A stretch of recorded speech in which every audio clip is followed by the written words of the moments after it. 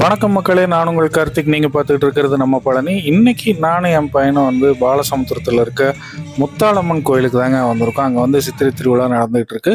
So அதில் கலந்துக்க சொல்லி நம்மளோட ஃபாலோவர் ஒருத்தர் கூப்பிட்டுட்டே இருந்தார். பத்திரிக்கையெல்லாம் அனுப்பிச்சிருந்தாங்க. ஸோ அதன் பேரில் தான் நாம் இப்போ வந்து போயிட்டு இருக்கோம். இந்த பாலசமுத்திரம் எங்கே இருக்குது அப்படின்னு பார்த்தீங்கன்னா பழனியிலிருந்து ஒரு அஞ்சு கிலோமீட்டர் வரணுங்க. பாலாறு பொருந்தலாறு போகிற ரூட்டில் வந்தீங்க அப்படின்னா முதல் க வரக்கூடிய ஒரு பெரிய ஸ்டாப்பிங்கே பாலசமுத்திரம் தான். இங்கே வரைக்கும் ஃப்ரீக்வெண்ட்டாக டவுன் பஸ் இருக்குங்க மினி பஸ்ஸும் இருக்குது நீங்கள் ஆட்டோ மூலியமாகவும் வரலாம். பைக் இருந்தால் அதை விடவும் உங்களுக்கு ஈஸி ஸோ நீங்கள் பழனி பழனி பக்கத்தில் இருந்தீங்க அப்படின்னா நீங்கள் கண்டிப்பாக பாலசமுத்திரத்தில் இருக்க இந்த முத்தாளம்மன் கோயிலுக்கு வாங்க. இந்த கோயில் மட்டும் இல்லாமல் இங்கே ஒரு ஆறு ஏழு கோயில்கள் இருக்குது ரொம்ப பழமையான ஒரு பெருமாள் கோயில் இருக்குது இன்றைக்கி நம்ம வந்து ஸ்ரீ முத்தாளம்மன் திருக்கோயிலுக்கு மட்டும்தான் போக போகிறோம் நான் ஊருக்குள்ளே வரும்போதே பார்த்தீங்கன்னா ஒரு கோயிலில் முன்னாடி தோரணமெல்லாம் கட்டி பாட்டெல்லாம் பாடிட்டு இருந்தது அப்படிங்கிறனால நான் இந்த ஊர் வழியாக போயிருக்கேன். பட் இந்த ஊருக்குள்ளே அந்த கோயில் எங்கே இருக்குன்னு எனக்கு தெரியாது. ஸோ இந்த கோயில் தான் முத்தாளம்மன் கோயில்னு நினச்சிட்டு அங்கே போனால் அதுக்கப்புறம் தான் சொன்னாங்க இல்லைங்க இன்னும் உள்ளே போகணும் அப்படின்னு சொன்னாங்க. அது போகிற வழியில் இருக்கக்கூடிய ஒரு மூணு நாலு கோயில்லையுமே வந்து ஒரே நாளில் திருவிழா நடந்துகிட்டு இருக்குது. அதுதான் எனக்கு ரொம்ப ஆச்சரியமாக இருந்தது. முத்தாளம்மன் கோயில் திருவிழா ஒட்டி பார்த்தீங்கன்னா ஒரு நாலஞ்சு கோயில்லையே வந்து இவங்க மைக் செட்டு சீரியல் லைட்டு தோரணமெல்லாம் கட்டி திருவிழா போயிட்டே இருந்ததுங்க.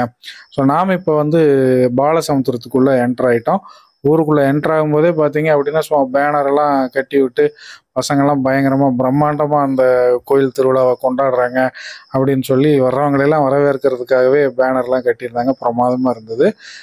இப்போ நம்ம கோயில்கிட்ட வந்துட்டோங்க. இந்த கோயில் பார்த்தீங்க அப்படின்னா அந்த பாலசமுத்திரத்தில் உள்ள ஊருக்குள்ளே வந்த உடனே ரோட்டு மேலேயே தான் இருக்குது நீங்கள் யார்கிட்ட கேட்டாலும் உங்களுக்கு இந்த கோயிலை வந்து சொல்லுவாங்க.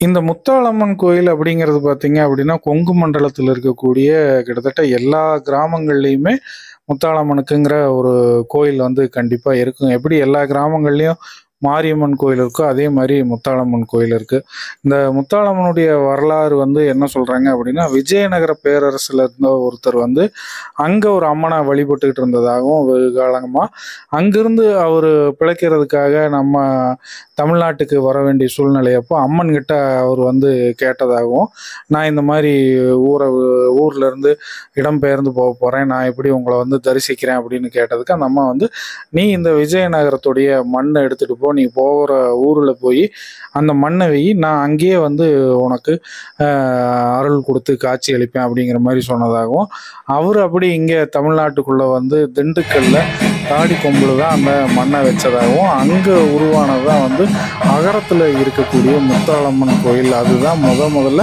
தமிழகத்தில் உருவான முதல் முத்தாளம்மன் கோயில் அப்படின்னு வந்து சொல்கிறாங்க இது வந்து ஒரு வரலாறு. இது மாதிரி நிறைய வரலாறுகள் இருக்குது அதை பற்றி ஏதாவது தகவல் உங்களுக்கு தெரிஞ்சால் அதை நீங்கள் கமெண்ட்லேயோ இல்லை என்னோட வாட்ஸ்அப் மெசேஜ்லேயோ நீங்கள் போட்டு விட்டால் அதை நான் அடுத்தடுத்த வீடியோக்குள்ளே நான் வந்து அந்த செய்திகளையும் ஆட் பண்ணிடுவேங்க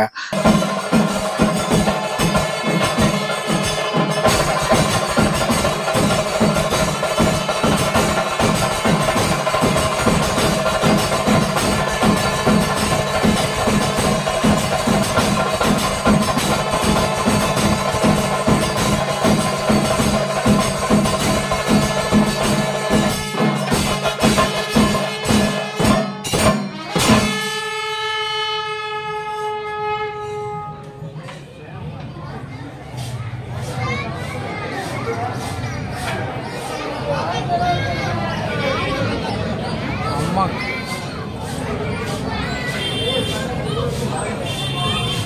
நாம வந்து அந்த திருவிழா அன்னைக்கு காலையில தான் பார்த்தீங்க அப்படின்னா முத்தாளம்மன் கண் திறக்கிற அந்த ஒரு சாங்கியம் ஆஹ், பூஜையெல்லாம் வந்து நடக்காது. என்ன அப்படின்னு பார்த்தீங்கன்னா அந்த முத்தாளம்மன் வந்து இங்கே தமிழகத்தில் பிறந்த அந்த ஒரு நாளிகையை கொண்டாடுறது தான் அம்மன் கண் திறக்கிற விழா அப்படின்னு வந்து சொல்கிறாங்க இந்த கண் திறக்கிற இந்த திருவிழா பார்த்திங்கன்னா அகரத்தில் இருக்க முத்தாளம்மன் கோயிலில் ரொம்ப ஃபேமஸ் அந்த கண் திறக்கும்போது அந்த மண்டபமே அந்த சாமி இருக்கிற மண்டபமே வந்து ஆடும் அதிரும் அப்படிங்கிற ஒரு நம்பிக்கையும் வந்திருக்கு. நான் ஒரு ரெண்டு மூணு தடவை அங்கே போயிருக்கேன் அகரம் திருவிழாவுக்கு. இதுதான் முத முறையாக இங்கே பாலசமுத்திரத்துக்கு நான் இங்கே வந்திருக்கேங்க.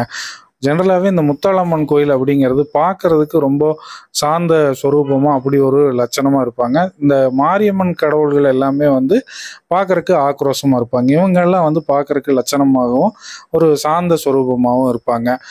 கொங்கு மண்டலத்தில் இருக்கக்கூடிய நாட்டுப்புற பெண் தெய்வங்களில் ரொம்ப முக்கியமான ஒரு பெண் தெய்வம் வந்து இந்த முத்தாளம்மன் கடவுள்கள். முத்தாளம்மன் கண் திறந்த அந்த நிகழ்வு முடிஞ்சு ரெண்டு நாள் கழித்து அம்மனை வந்து பூஞ்சோலைக்கு கொண்டு போயிடுவாங்க அங்கே கொண்டு போய் வச்சதுக்கப்புறம் தான் மழை வந்து அம்மன் குளிர்ந்துருவாங்க. அதுக்கப்புறம் தான் திரும்பவும் கோயிலுக்கு கூட்டிகிட்டு வரக்கூடிய சாங்கியம் எல்லாம் நடக்குங்க. இப்போ நாம் அதெல்லாம் வந்து ஷூட் பண்ணுறதுக்கான வாய்ப்புகள் இல்லை. இப்போ நாம் திருவிழாவுக்கு நேரடியாக வந்துட்டு கோயிலில் சாமி மட்டும்தான் கும்பிட்ருக்கோம் நம்மளை இன்வைட் பண்ண அந்த நண்பருக்கு நான் இங்கே வந்துட்டு கால் பண்ணேன். அவரை வந்து தொடர்பு கொள்ளவே முடியல. அவரோட நண்பர் ஒருத்தர் தான் வந்து பேசினார். ஸோ இந்த வீடியோ அவர் நீங்கள் பார்த்தீங்க அப்படின்னா கண்டிப்பாக எனக்கு நீங்கள் மெசேஜ் பண்ணுங்கள் இன்னொரு தடவை நான் வந்து கண்டிப்பாக உங்களை நான் மீட் பண்ணுறேன் நான் என் பையனும் வந்து சிறப்பாக தரிசனம் பண்ணிவிட்டு சாமியை சூப்பராக கும்பிட்டேங்க. இந்த கோயில்லையும் பார்த்தீங்க அப்படின்னா திருவிழாவை முன்னிட்டு சிறப்பு அன்னதானம் வான வேடிக்கை அது எல்லாமே வந்து பிரமாதமாக பண்ணியிருந்தாங்க. கூட்டமுமே வந்து நிறைய வந்துட்டும் போயிட்டும் இருந்தாங்க. இன்னைக்கு காலையில் அஞ்சரை மணிலேருந்து ஆறரை மணிக்கு தான் கண் திறக்கிற அந்த நிகழ்வு அப்படிங்கிறனால எல்லா ஊர் மக்களும் அந்த டைம் வந்து சாமி கும்பிட்டு போயிருப்பாங்க. இனி ஈவினிங் டைம் தான் இந்த திருவிழாக்கு எல்லா கூட்டமும் வருவாங்க. இந்த பாலசமுத்திரத்தை சுற்றி இருக்கக்கூடிய இன்னும் சிறு குறு கிராமங்கள்ல இருந்து நிறைய பக்தர்கள் வந்து இந்த திருவிழாவில் கலந்துக்குவாங்க. பாலசமுத்திரம் வந்து ஒரு சின்ன கிராமமாக இருந்தாலும் இங்கே வந்து இவ்வளோ கோயில்கள் இருக்கிறது அப்படிங்கிறது எனக்கே ரொம்ப ஆச்சரியமாக இருந்தது. அது மட்டும் இல்லாமல் இன்னொரு இப்போ சிறப்பான விஷயம் பாலசமுத்திரத்துக்கு என்ன அப்படின்னா பழனியில் வந்து பால் ஊற்றக்கூடிய நிறைய பால்காரர்கள் வந்து பாலசமுத்திரத்துல இருந்து தான் வர்றாங்க. எனக்கு தெரிஞ்சு நாங்கள் வந்து ஒரு நாலஞ்சு பால்காரர்கள் கிட்ட மாற்றி மாற்றி வாங்கினப்போ எல்லாருமே வந்து பாலசமுத்திரத்தில் இருந்து தான் வர்றாங்க அதனால் வந்து இது விவசாயம் சார்ந்த ஒரு நிலமாக தான் பாலசமுத்திரம் இருந்தது. இங்கே பக்கத்தில் ஆறு ஓடுது அப்படிங்கறனால இங்கே விவசாயம் வந்து ரொம்பவே செழிப்பாக இருக்குங்க. ஆட்டு மாட்டுப்பண்ணை மாட்டு பண்ணை அது மட்டும் இல்லாமல் விவசாயம்னு சொல்லி இது ஒரு செழிப்பான ஏரியா தான். நீங்கள் பழனியிலேருந்து பாலசமுத்திரம் வர்ற வழியில் பார்த்தீங்க அப்படின்னாலே பழனி தாண்டின உடனே உங்களுக்கு ரெண்டு பக்கமுமே அந்த பாலசமுத்திரம் ரோட்டில் ஃபுல்லாகவே உங்களுக்கு வயல் தோப்பு தென்னந்தோப்பு மாந்தோப்பு அப்படின்னு சொல்லிட்டு விளைச்சல் நிலமாக தான் இருக்கும். பார்க்குறக்கே அவ்வளோ ஒரு அழகான இயற்கை எழில்மிகு காட்சிகளோட தான் இந்த பாலசமுத்திரமே வந்து அமைஞ்சிருக்கும். நடுவில் ரெண்டு மூணு குளம் இருக்குது ஒரு ஆறு ஒன்று ஓடும். ஸோ ஒரு சூப்பரான வில்லேஜ் தான் இந்த பாலசமுத்திரம்.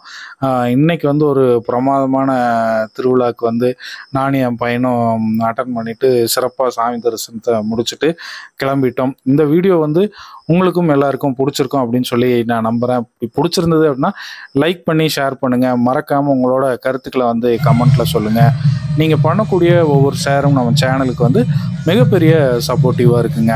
நம்ம யூடியூப் சேனலை மறக்காமல் சப்ஸ்கிரைப் பண்ணிவிட்டு ஃபேஸ்புக் பேஜையும் ஃபாலோ பண்ணி வச்சுக்கோங்க. யூடியூப் சேனலை சப்ஸ்கிரைப் பண்ணால் மட்டும் பத்தாதுங்க. உள்ளே நீங்கள் போயிட்டு அந்த பெல் பட்டனை கிளிக் பண்ணி அதுக்குள்ளே ஆல் அப்படிங்கிற ஆப்ஷன் இருக்கும். அதையும் நீங்கள் கிளிக் பண்ணால் தான் நான் போடக்கூடிய ஒவ்வொரு வீடியோவும் உங்களுக்கு உடனுக்குடன் வந்து சேரும். இதே மாதிரி இன்னும் பல வீடியோக்களில் தொடர்ந்து மீண்டும் வந்து நான் உங்களை சந்திக்கிறேன். அதுவரை உங்களிடமிருந்து விடைபெறுவது கார்த்திக் அண்டு கவின்.